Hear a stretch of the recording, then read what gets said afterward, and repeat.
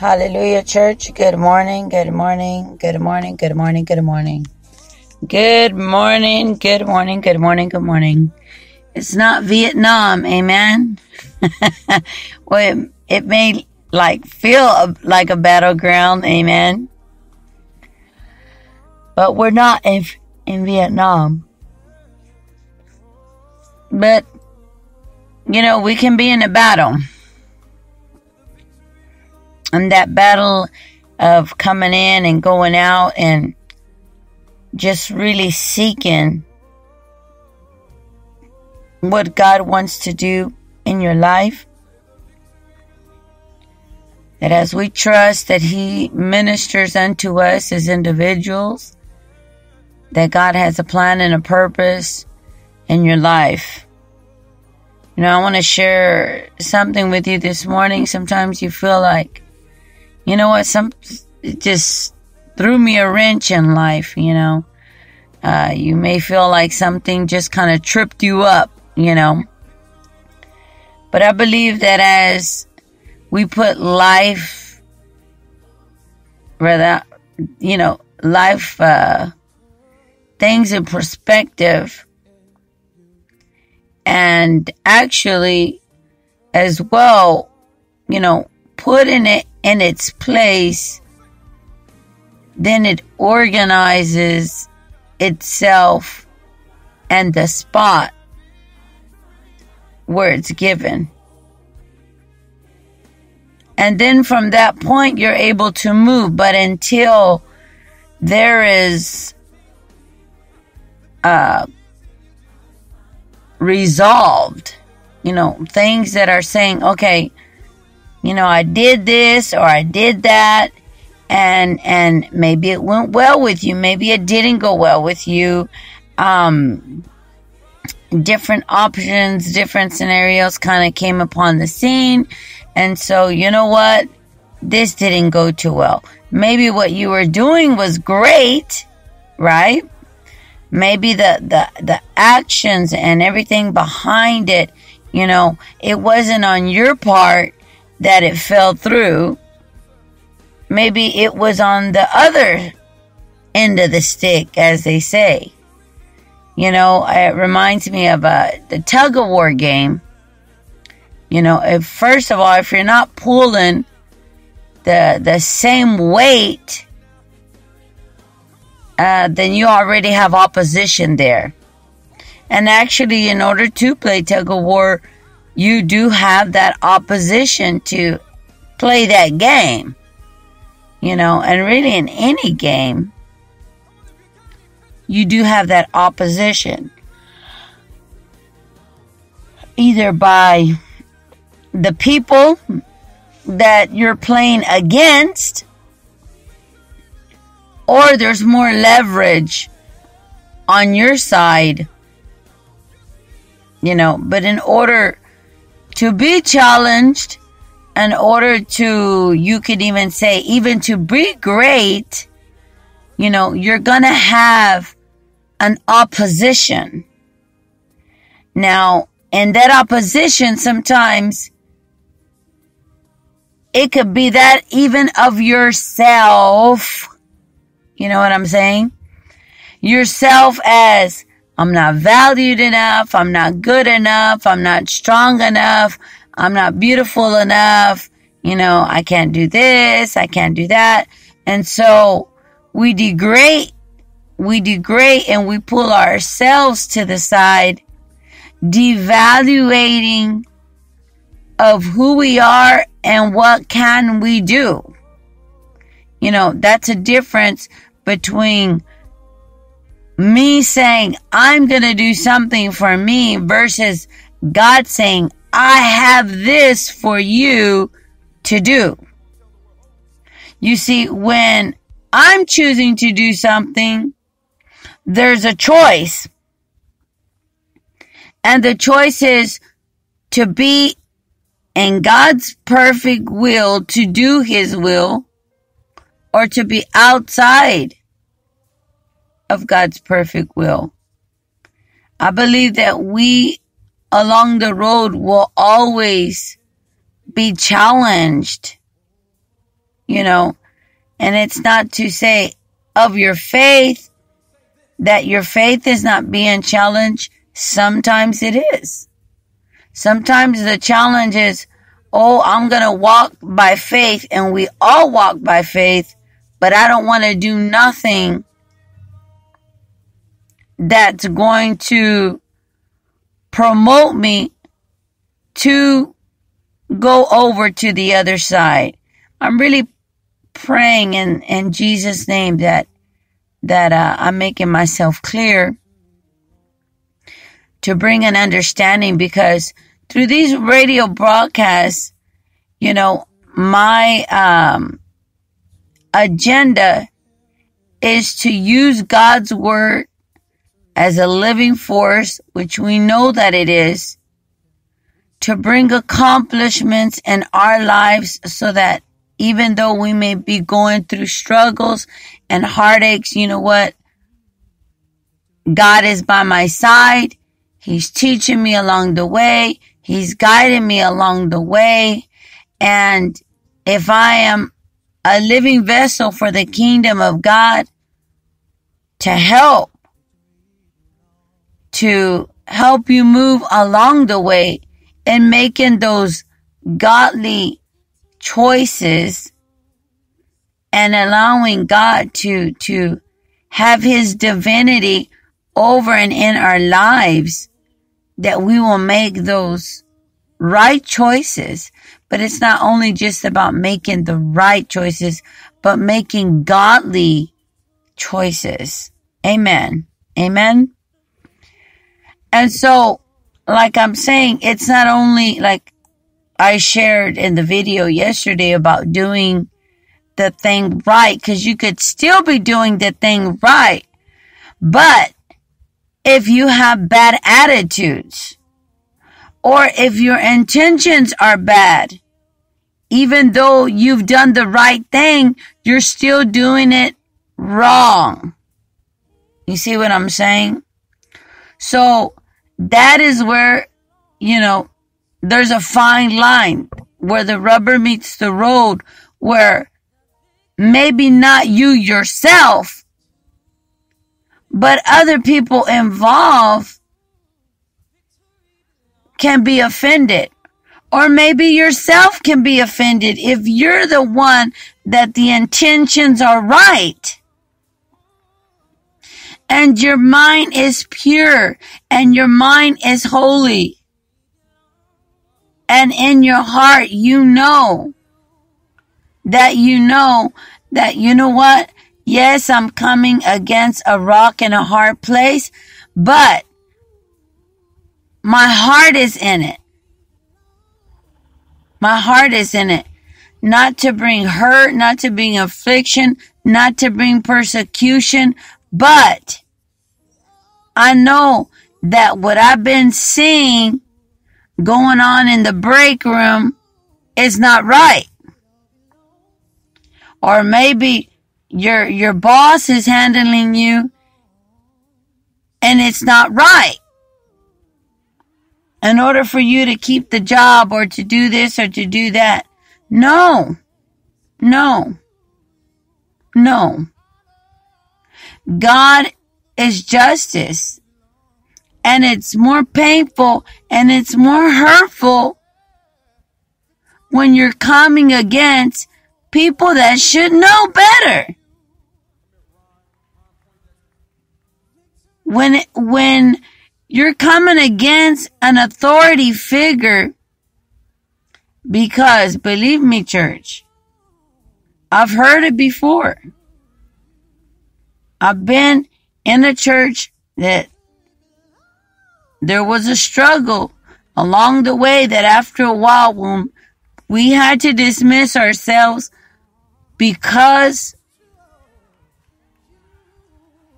of their choice of continually of wanting to to ride in that sin per se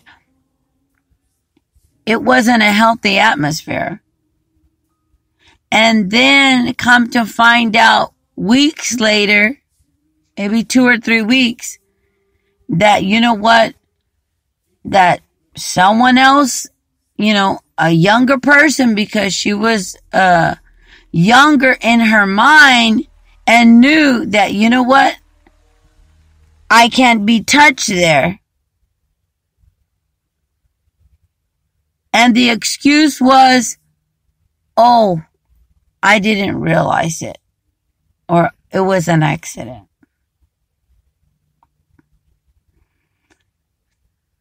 So you see where there's fine lines.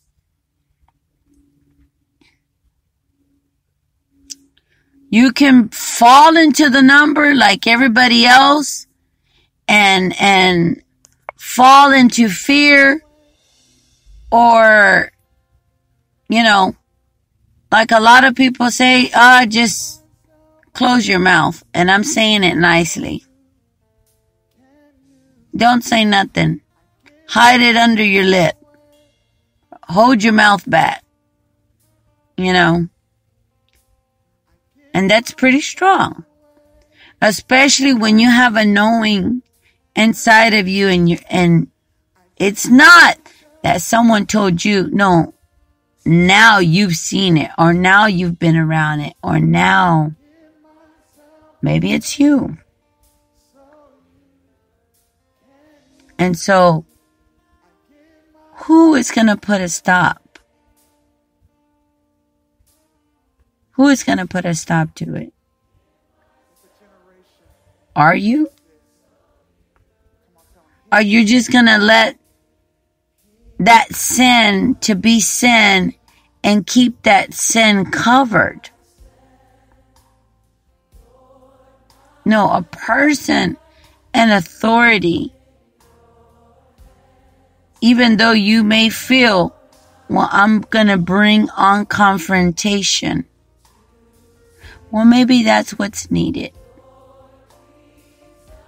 Because sometimes, and I know, believe me, I know when I've gone, uh, you know, across the world, when I went to Peru, I believe it was in Peru, um, our custom here with my family, y somos Latinos, Mexicanos, you know, you may say, oh, eres una gringa.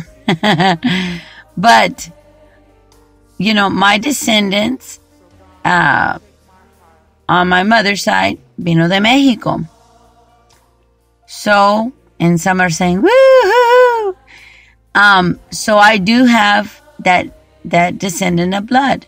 When I grow, when I grew up, you know, now I know not every Mexican family amen, is like this, but we grew up like this with respective attitudes towards one another and gestures with love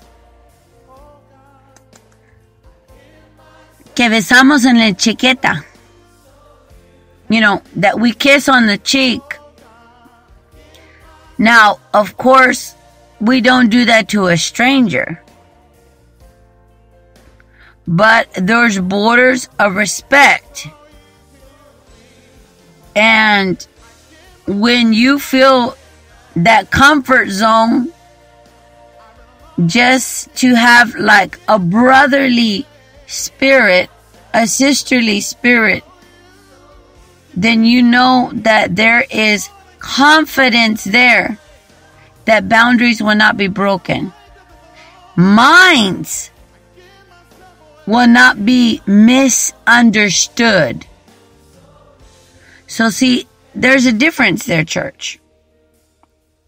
because there's a maturity, there's a growth.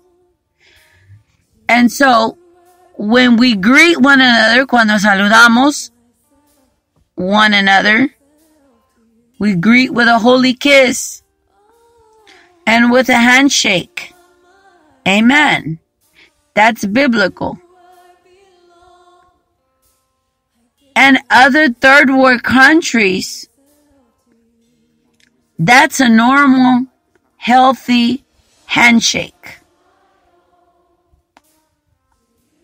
with the cherry on top. and that's regular. So when I went to this third world country, I was accustomed to it. I didn't have a problem with it. As a matter of fact, you felt the, the, the love of the person, you know, the amable. But a person knows when the gesture's wrong. You know, when that handshake wasn't a handshake, when that hug wasn't a hug, when that touch was just quite a little different. And there's a difference.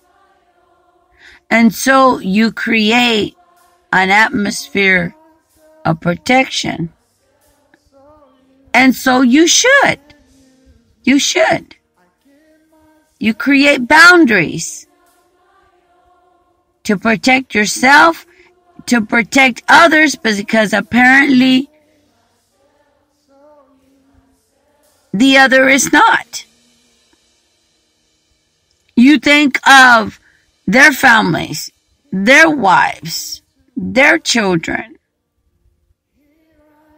And now there's a distance out of respect. I know this morning that it seems a little heavy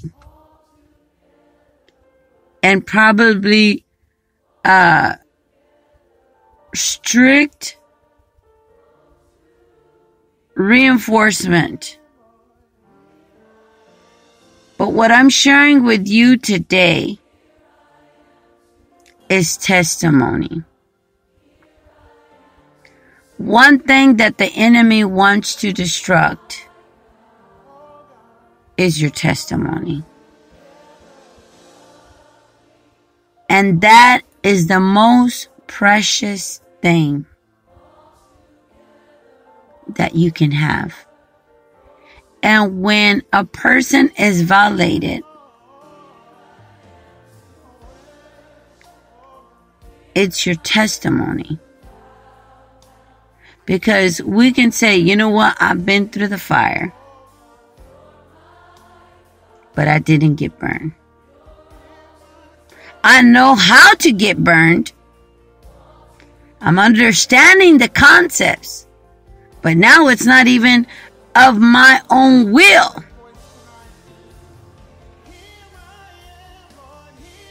But I'm not going to fall for it. I'm not going to go that route. I'm not going to do that. I'm not. So that's what I'm sharing with you today. Putting God first knowing when to give and also knowing when to hold back. Until what? That comfort zone, not to stay there, not to stay in the comfort zone, but in the safe zone. In the Spirit of God. And you know that it's not yourself. You know that it's not yourself because you're not that way at all. So it's not that you have the hard heart or it's not that you don't have that openness. It's just a protection. It's a protection, a Holy Ghost protection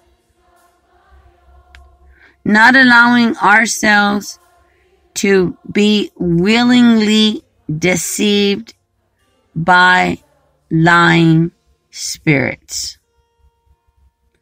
You know, pretty much for all this month, um, you know, we've been dealing with snakes, the videos, uh, even the teachings. The Lord's been putting in my path, you know, about snakes. And so, you know, when someone gets bit by venom and has been a survivor, sometimes the antidote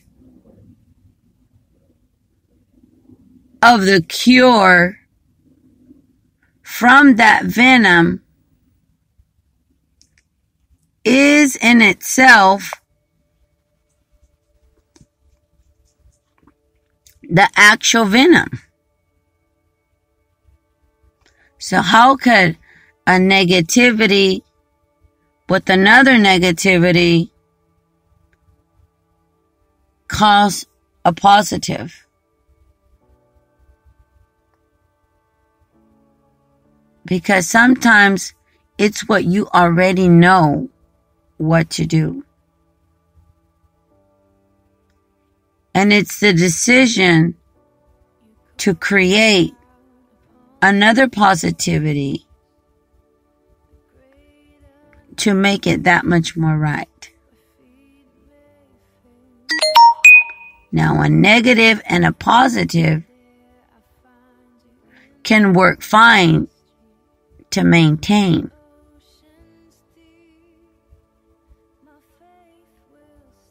You see what I'm saying? But that's where you grow and you realize, okay, if they done me wrong, that doesn't mean that I'm going to do wrong. But it's made me that much more stronger to help those that are wrong to bring them out of that. Because we've already been there. We've already, gone through that. Now, if others choose to want to live in that, and you've made it clear that you're not about that,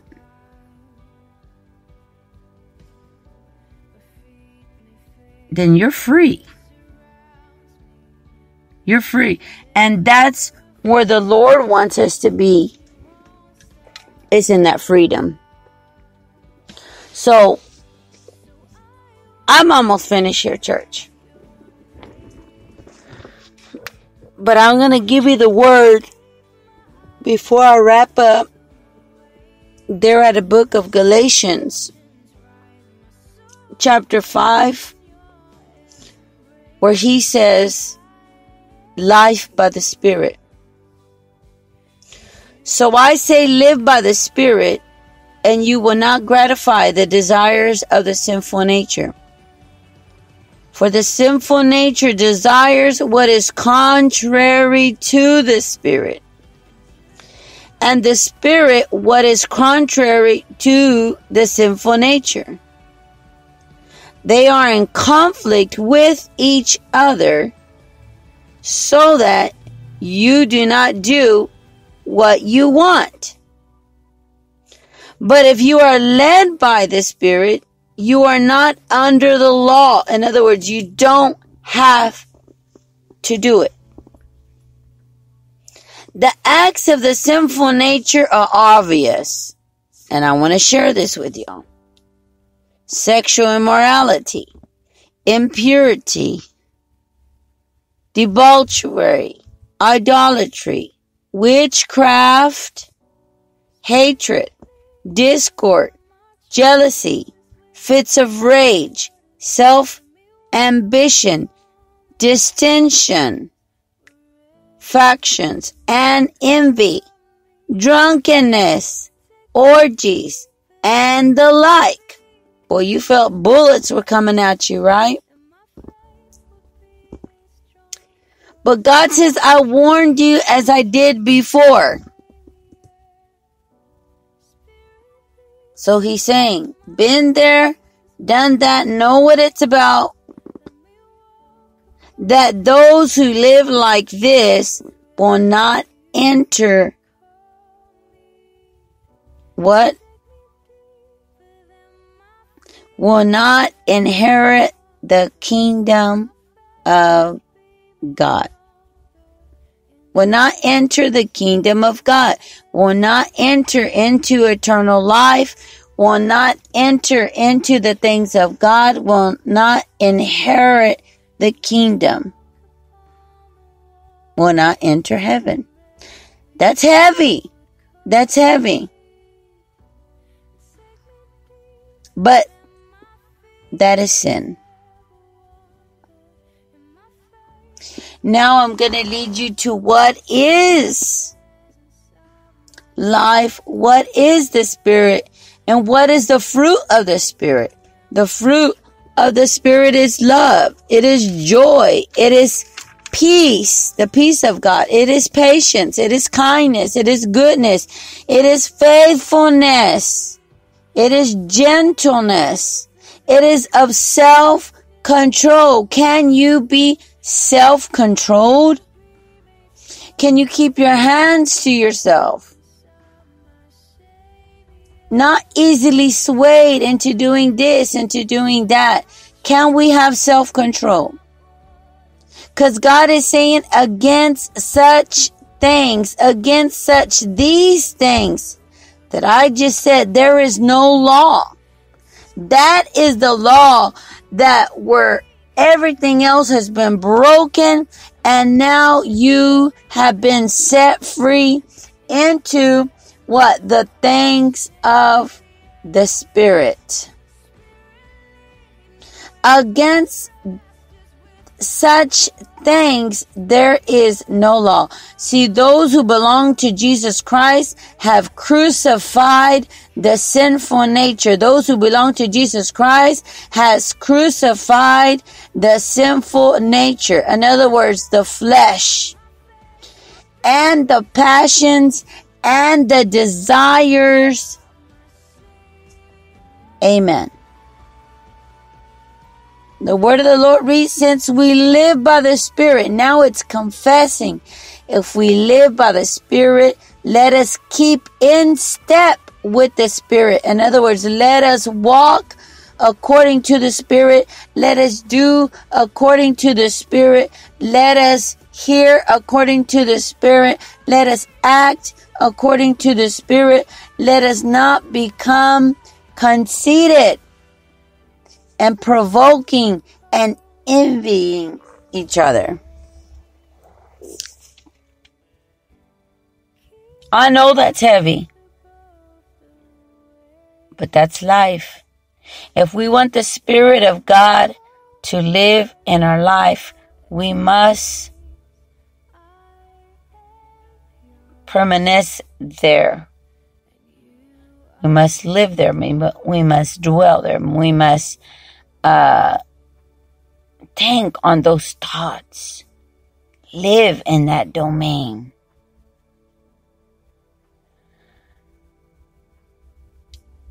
Into the things of Christ.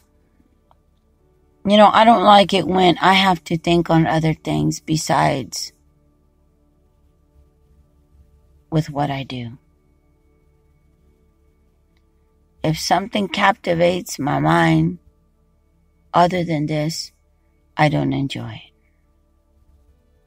It's good for a little while. It's good for a little while. But when it's done and over with, what happens? Have we abandoned the Spirit? Are we walking in the Spirit? Are we pleasing that of the Spirit?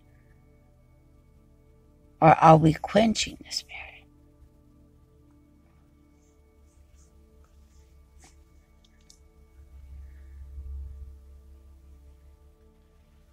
Are we loving the Spirit? Are we walking according to the Spirit? Are we hearing the Spirit? Let us love God. And let us put God first And when we feel affected, maybe a snake bit you. And now you feel affected by it.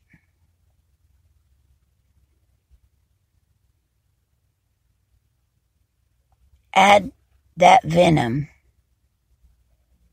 contrary to that. Release it, let it go, and just move on. Free your mind. Give it to God. And also confront it. Give it back to man. And then let God rule in that area. And whatever happens shall happen. And I pray that it will be in the way of the Lord. Amen. Hallelujah, church. Hallelujah, church. Hallelujah. Thank you, Jesus. Father, we just thank you, Lord. We thank you, Lord, that you remove any spirit of remorse, any spirit of mishap, any spirit of mistake, any spirit of failure. And Father, we just bring them to the feet of Jesus. Have your way today over and in our lives, Lord Jesus. Thank you, Lord, for the spirit of conviction over our lives not of condemnation. Father, we walk by faith and not by sight. We move in your power and your authority and your dominion. Wherever you lead us, Father God, we shall follow. Because you've created us to be the head and not the tail, that we're above only and not beneath. And I thank you, Lord, that we're blessed in the city, we're blessed in the fields. And everywhere we go, we exalt the name of the Lord Jesus Christ. In Jesus' name, amen. Hallelujah. Church, we love you, we love you, we love you ever so much.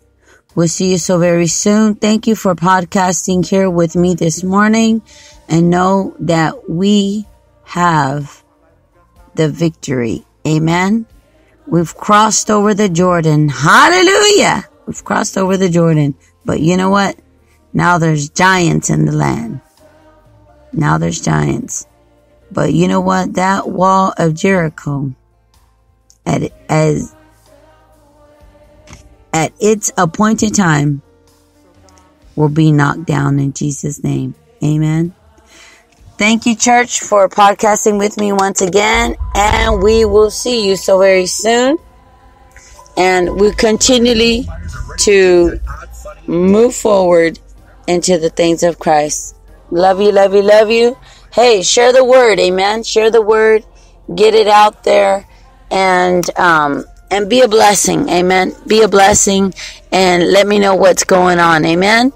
Uh, and we'll see you so very soon. God bless you. God bless you, church. Amen.